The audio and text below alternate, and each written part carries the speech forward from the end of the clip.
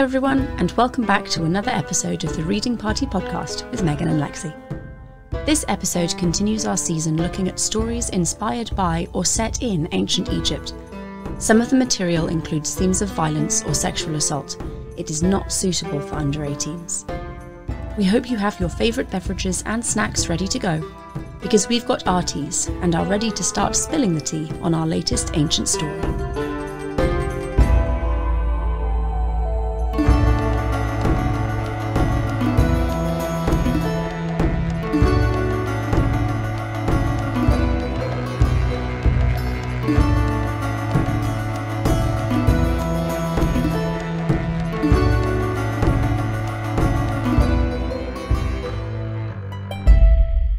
So, the quest?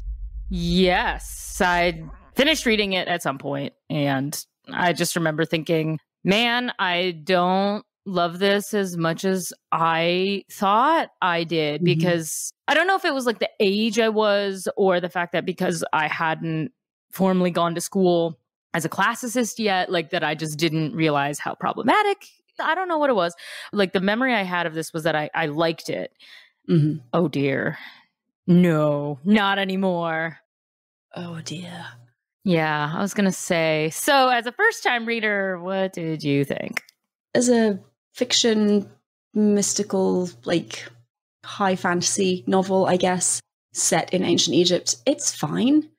There's a lot of problematic things that really are echoed, I think, in everything else we've said about every other book we've read in this series, there are some weird race essentialist things going on. There is a lot of everyone outside of Egypt are cannibals or some kind of like savage living out in, in the African wilds, and it's super racist.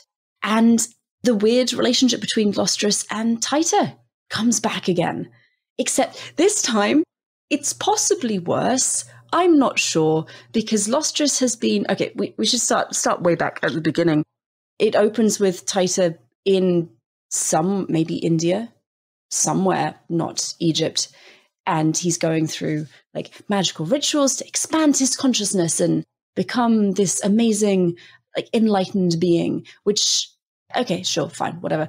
Except that it is weirdly sexual, and apparently knowledge is passed on through sex. So when the Supreme Grandmaster dies, he has sex with his number one acolyte and gives her, through his magical semen, maybe all of his wisdom and experience. Who knows? And then you find out that the, the big bad guy in this particular book is a witch named Eos, who steals people's magic through her magical vagina when they have sex. So there's a lot of, of weird, weird sexual stuff going on already. And then Taita like journeys back to Egypt, and there are all these plagues going on, and you find out that Eos is acting through these henchmen trying to kind of take over Egyptian religion. And the queen has been caught up in this because in all of the plagues and famines that have happened, she's lost a child, which fucking sucks as someone who has lost a child. And they're using this to like manipulate her and try and get access to the pharaoh. And it all ends up with Taita going off on this journey to find the witch and, and defeat her and do all that good, exciting stuff. On the journey, they go out of out of Egypt and into like wilds of Africa. It's all very uncivilized and, and weird and again, racist. And they find a group of cannibals.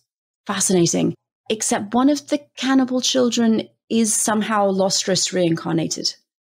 And at that point, I gave up all hope of any redemption for this particular book or indeed the series as a whole, because you know, you know somehow it's going to be weirdly sexual, despite the fact that she is, again, a literal child. And he tries, like Wilbur Smith tries to get around it by saying that, oh no, she has all of like the maturity and the wisdom of the adult Lostris when she died. I'm like, ah, I don't know enough about the theory of reincarnation to know if that's how it works, but she's a literal child. Again, a literal child with Taita being all in love with her and weirdly possessive and very jealous when the other men in the camp give her shiny baubles because she's a, a cute kid and they want to make the cute kid happy. And he's like, oh my God. Oh, Okay, good. Fantastic. So there's that whole mess that it doesn't end well. I mean, it, it I guess for the characters, it's supposed to be a happy ending. Taita magically gets his penis back. Yes, so that happens. And he defeats Eos again with this weird sex thing. And then Taita finds the Fountain of Youth, because of course he does, drinks it, becomes a young man. So he's, he's young, he has his penis back, which is amazing. And then they like they go back to Egypt. And at the end, Taita leaves with the girl Fen, who is Lostris reincarnated. He leaves with her to find the Fountain of Youth again so that she can become immortal. And presumably they can live forever in this really weird semi pedophilic relationship. Yeah. I've glossed over a lot of stuff. It's a long book, and we're only doing one episode on it. Yeah, it's okay. I mean, it is. Also, I'm just like, for such a weird tale, it didn't have to be this long because the book is quite thick. There's a lot of unnecessary travel, like more travel than, well, I already said it was unnecessary, but it's just a lot and a lot of little weird side diversions and side quests. And it doesn't, that don't seem to add an awful lot to the story as a whole.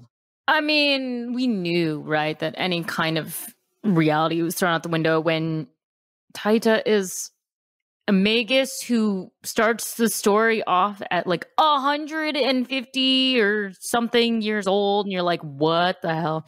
So you're like all right. And somehow they remove his eye mm. and perform an operation that opens his third eye so now he can read everyone's auras. And yeah.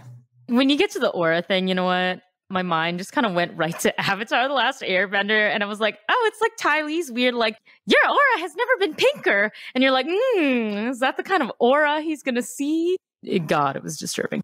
Yeah, I must admit, I remembered it being the longest pure journey of the series, which I guess in hindsight really shouldn't surprise me. It's called The Quest. I just didn't remember how much like random meandering was present I definitely didn't remember the spirit of Lostris playing such a big role. I just oh I mean normally she's like a mention. Normally it's like and I looked into the desert and I caught a glimpse of what I thought to be her face. You know, like remembered I thought it was like that, but but this was a lot more present than oh she's come back to life, man, and, and she's there physically all the time. I mean, just the whole like and Fen is the reincarnation of her. And so, like, ergo, not only does he get another chance, but ergo, like, she's not really dead. Ergo, I, you step into this protective role. I just,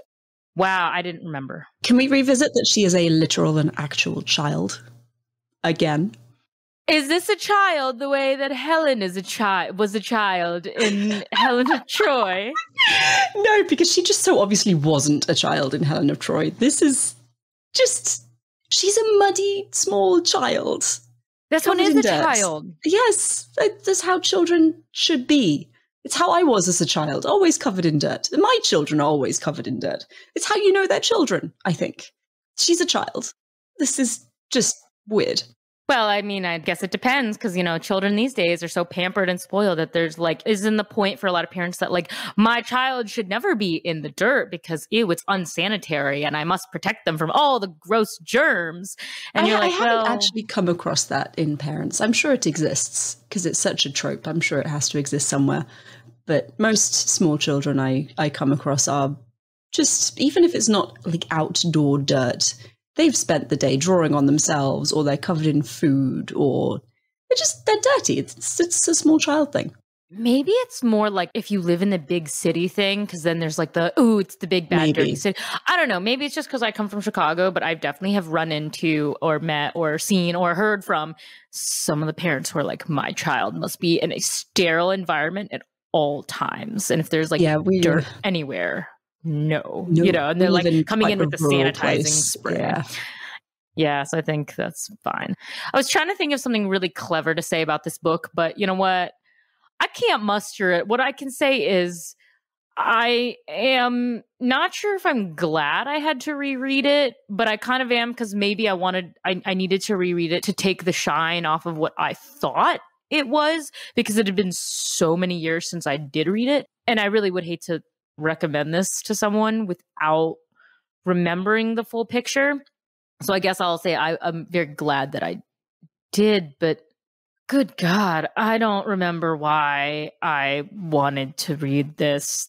This felt like a mistake. Well, I think like River God, when we were planning this season, you really wanted to read River God. And I'm glad that I read it. It was a good book and it seemed reasonable. If we're doing a book and we're doing a whole series on Egypt, let's hit as many of those books as we can. Obviously, we skipped Seventh Scroll because I screwed up with the book order thing. And we're we're gamely making our way through them. But ah. I hope people at least if they don't appreciate i hope they just give us props for forcing ourselves to continue through the series because here's the thing dear audience members i just want any excuse to read river god because despite all the things that we went through that make it problematic it's still a good book in my opinion it's still entertaining i still really loved it but the more that i reread the series i think that other than maybe warlock i i'm may and that's a heavy maybe I think it would have been a brilliant solo book that didn't need to be a series. Yes. Yeah. I was curious because after I reread the book and was horrified at what I reread, I tried to find some quotes about from Wilbur Smith to see if he gave an interview or said anything. And I don't know if, if you saw, but he was quoted saying about the book from some source that well, he didn't say it was like his own fanfic, but he essentially was talking about how it was very self indulgent to like make Taita whole again. And that he was like, oh, I wanted to restore him, both his youth and his manhood. The entire reason he did it is because he just was so fond of his own character that he was like, well, if it's a series about like witchcraft and magic and spells, he was like, I have the power to do this. Why not? So I was like, okay, well, it's a self indulgent author, self indulging his favorite character. And honestly, that's kind of how the book reads. So if you are wanting to read this book, that is how one should read it, which is just an author making his own fanfic, I guess. I think that's the best way to describe it. It's like when I was in high school, I read the Clan of the Cave Bear series. Earth Children, love them, beautiful books. As an adult, I've reread them several times. Some glaring errors. And I, again, when I was in high school, went and, and read some fan fiction because the internet was a thing way back in the Stone Age when I was in high school. And it's absolutely wish fulfillment. I don't read a lot of fan fiction, but I assume a lot of poorly written fan fiction is wish fulfillment. And this book reads like decently written, but it's fan fiction fulfilling the wishes of, in this case, the original author, but it's absolutely like ridiculous. It's ridiculous. I mean, it's just meandering. I mean, it's just it's colonialist meandering. I mean, it's it's him like sending his characters down into like a deep and mysterious Africa, and you're like, oh god. And then it's like he meets. It's the trope of smart dude meets like savages in deepest darkest africa and you're like oh my god and then you're like great savior complex. I don't you know you know what though? I'm going to take us on a little tangent because you know what? This is warranted here because this book felt like a tangent like a weird ex- extrapolation of my mind anyway. But in terms of like what kind of fanfic this is it honestly reminded me of Love Never Dies, the sequel to Phantom of the Opera. Because if you've seen that musical or heard it, that's essentially what it is. It's like fanfic for Andrew Lloyd Webber. For those who are unfamiliar with the plot of, well, the original, I guess, I'm going to assume a lot of people know Phantom, but I guess I'll do like a mini, mini, mini recap. Essentially, woman is like terrified by mysterious, creepy man who calls himself the like angel of music, spirit of her father. Essentially, she like falls in love with dashing guy. Creepy man in mask haunts her, forces her to sing, then like kidnaps her to try to make her be his bride, and then at the end like lets her go out of guilt, conscience, something unclear. And then she like goes away and then it ends all dramatically. But then Love Never Dies comes in and essentially it takes place like 10 years later and fanfic to the max. Essentially, what happens is it's supposed to tell the story that, like, Christine, our main lady, woo woo from Phantom, sneaked back the night that the original Phantom ends and had sex with Phantom. And then he got her pregnant, but she, like, wanted to be with him and then he got scared so he like left after their one night stand and then like poofed away to New York. And then now, 10 years later, she comes back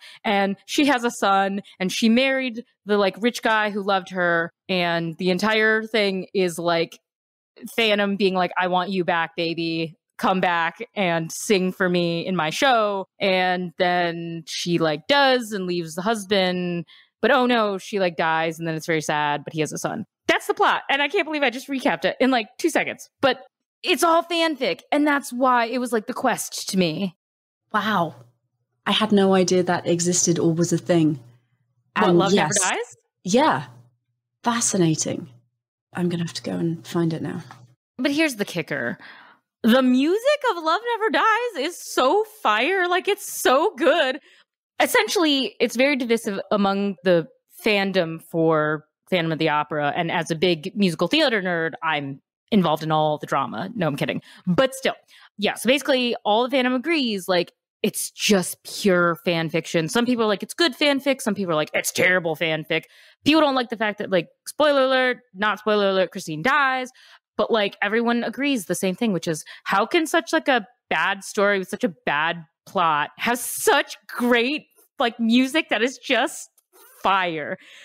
And that's honestly kind of what the quest is, except without the music. So there's nothing to make it like straight fire. You're just like, oh, this is just bad fanfic. So it's like if Love Never Dies had shitty music, then you'd be like, this is unbearable. But that's really where my brain went. So the entire time I was reading this, I was like, Love Never Dies. Love Never Dies. And apparently, my brain took that one step further and then essentially when Lostris came back, I was like, oh my God, love actually never dies because she's here. She is here. She's reincarnated, but her spirit is here. I think I'm just going to start a train and be like, this book is Love Never Dies in more ways than one. Like, this is what it is. So I think I've, oh no, I don't want to attach a bad book to like an actual sequel that I kind of like. Oh no, what did I do? Megan, why didn't you stop me? I'm sorry. I'm sorry, let's say it's like the bad version of Love Never Dies, except about a completely different plot in a different media. It's all different except that it's awful. And it's not even Egypt based. It's which not, is even worse. Like we go through Egypt briefly and Yeah, that's the thing. It like feels random that it's like the Egyptian it's called the Egyptian series. And I'm like, but you're not even in Egypt. What essentially makes it Egyptian is the characters are from Egypt and that's it?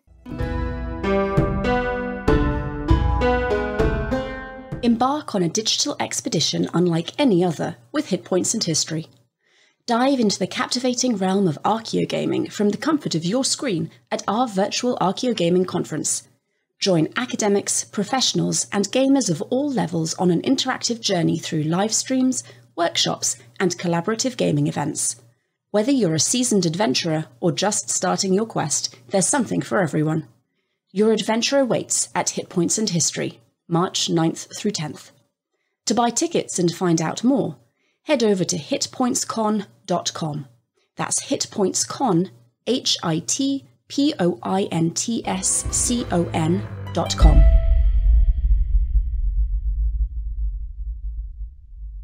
They're from Egypt, and I think it's like that all always trying to either save Egypt or get back to Egypt, or even though they're not in Egypt, the country is kind of like its own character in all of the books. But it's it's, it's like an bad. omnipresent feeling more than it is a tangible place, which I don't love, but also I'm like, well, it kind of makes sense because if you're big into like Egyptomania, it's like a state of mind more than it is a real place because you fantasize about it. So I'm like, actually, it makes perfect sense. And maybe I'm just ragging on Egypt again because surprise, surprise, or maybe not. I did the bad thing and I was like trolling around on Twitter last night. I don't know why.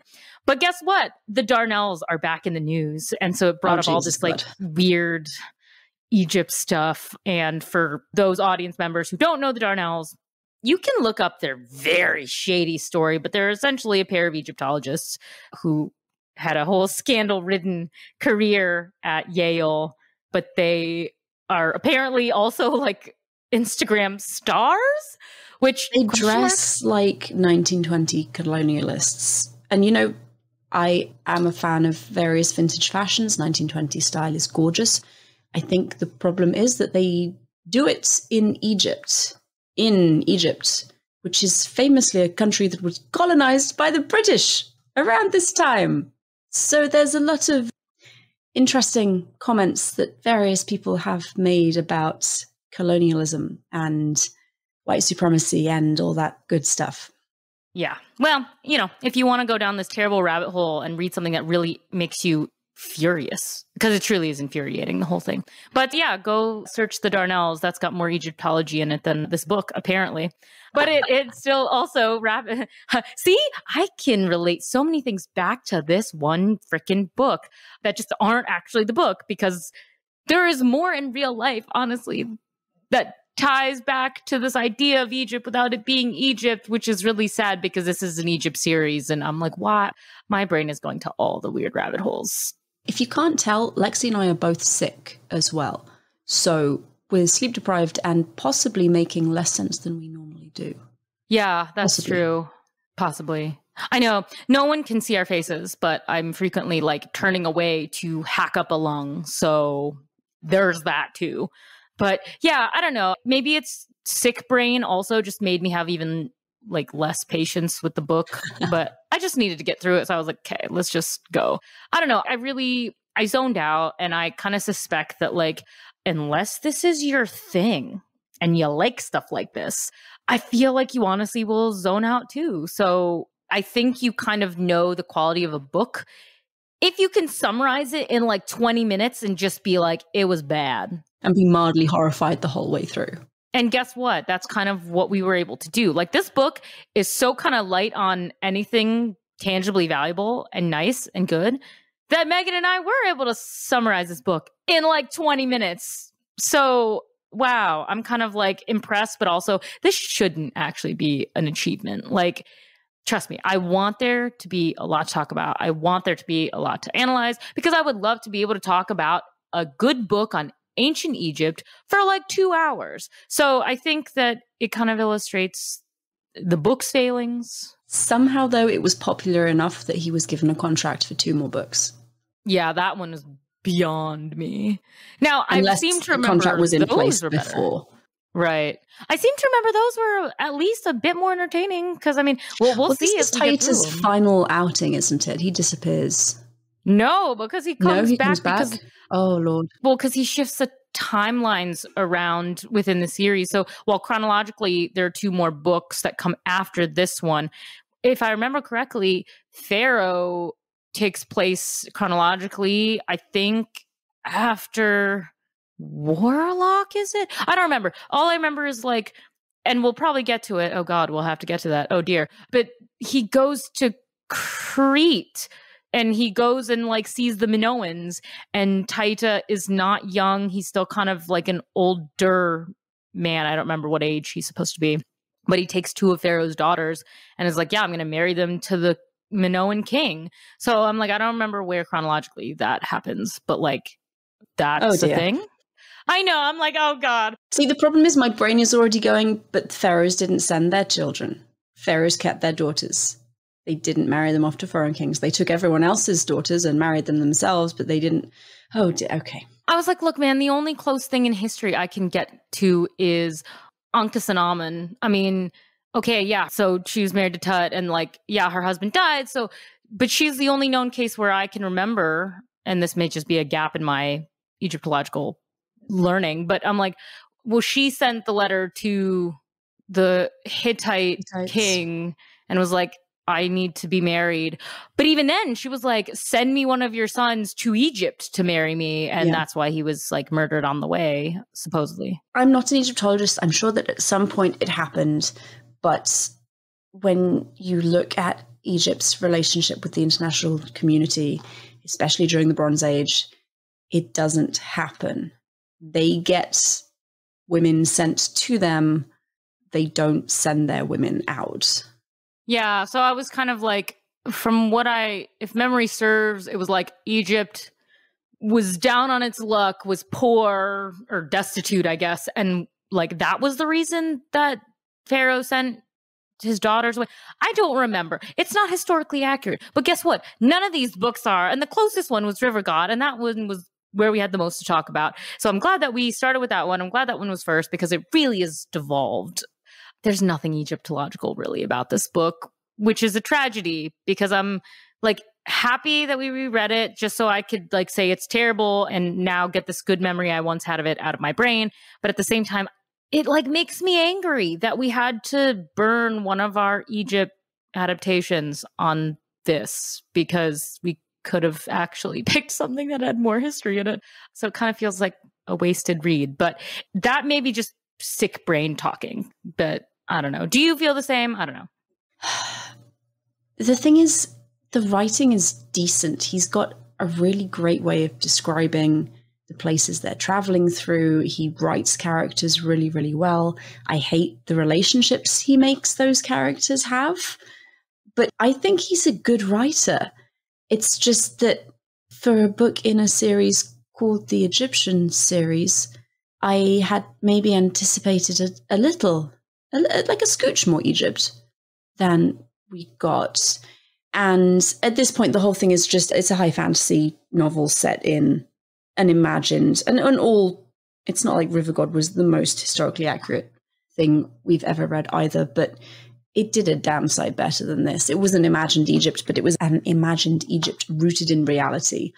This is just we're only in Egypt for a whole two minutes, so it's like Yeah, I think you're right. That is what I think kept me coming back to every new book he would write, which is just that yeah, he's a good writer. Like he actually writes with artistry. I just wish it weren't so graphic because it just feels gratuitous at this point. But like if he toned that down, like he would be an excellent writer that I'd really want to keep coming back to. So I think it's yeah. I am interested to see knowing now that Desert God and Pharaoh are chronologically behind what we've just finished. I am interested to see if he reins in some of the magic stuff a little bit he doesn't there's a lexi just made a face which suggests that he doesn't no just because i i can't remember like mm-hmm. I know that like the magic is still there. Like Taita still has souped up powers of sensing things and knowing things. I do think it might be a little toned down from the quest. I just I can't confirm how because much Warlock, toned down. Warlock obviously was very heavy on the magic but it felt more coherent, I think, within the framework of the story and of the world that Wilbur Smith created. The quest felt different. It felt very out of place in regard to what else we've read from him. And it just felt like a step further somehow. So if, if Pharaoh and, and Desert God are more in keeping with Warlock, I think I'll probably find them easier reads. I mean, look, even Wilbur Smith was like, look, it was a clear change of pace. He wanted it to be different. I found an old publisher's weekly review that basically just said that, like, this is the book where Smith tries to blend some history, fantasy, and mythology. But the review was basically saying, like, if you're a newcomer, it's full of mutilations and grisly deaths. And you're like, oh, okay, cool. Thanks. So that's really kind of what this one was. So I don't know. I wish I could say I was looking forward to the other two, but I'm kind of like, oh God, it's starting to feel like a drag. But at the same time, I'm like, well, we're living up to our brand, which I feel like should be like a sub tagline to our show's tagline, which is like, we read and watch them so you don't have to. Because, so oh true. my God, like after this, I'm like, please, who's going to want to read these books? Not I. No, no. Oh, God. Well, okay. What are we doing next week, Megan? We have Cleopatra. Amazing. We have two episodes on Cleopatra, and this is the 1963 movie with Liz Taylor. And the first episode is going to be Lexie and I talking and discussing the movie and the fascinating costuming choices, among other things. And then the following week, we are going to be talking with the wonderful Dr. Kara Cooney. If you're unfamiliar with Dr. Cooney, you are in for a treat because that was just, she's always a delight to talk to. Absolute delight. So she'll be giving an Egyptological perspective because it's been a couple of weeks since we had an Egyptologist on the show. So that's what we're going to be doing. And I don't actually have anything else to share about the quest. Unfortunately, this is a really light episode, and I'm very sorry to listeners for that. But there's only so much to say. Right? Like, there's only so much you can say, and there's no history to dig into. So I just. Sorry, guys. It's a shorter one, but this Apologies. is. It just shows you that, like, you can't save a bad book. Ha ha ha. Yeah. The good thing is we have a lot of Cleopatra material, and it's very in depth, I think. So I think we make up for it. Yeah, I do too. All right, guys. Well, thanks for bearing with us. Oh, and yeah, look up Love Never Dies if you like musicals, because that's great. And then I will make sure that Megan and I put in the correct link in the show notes because most people don't know there are two official ways that you watch Andrew Lloyd Webber's musicals. The 25th anniversary version of Phantom that was filmed in 2011 at Royal Albert Hall is the official way and they filmed an Australian production in Melbourne. So it's the Australian cast, 2012, I believe. And there is an official link to it on YouTube. And that is, according to Webber, the official way to watch Ooh. the sequel. So everyone, go find that if you like musicals. Well, that's it for this week. Thank you so much for sticking with us. Make sure to join us next week for our take on the 1963 Cleopatra movie. Yes, that one with the blue eyeshadow. Bye. Hey, thanks for listening. Don't forget to leave us a review, and you can also follow us on social media at the Reading Party Podcast. If you'd like to leave us a book or movie suggestion, then email us at thereadingpartypod at gmail.com. See you next week.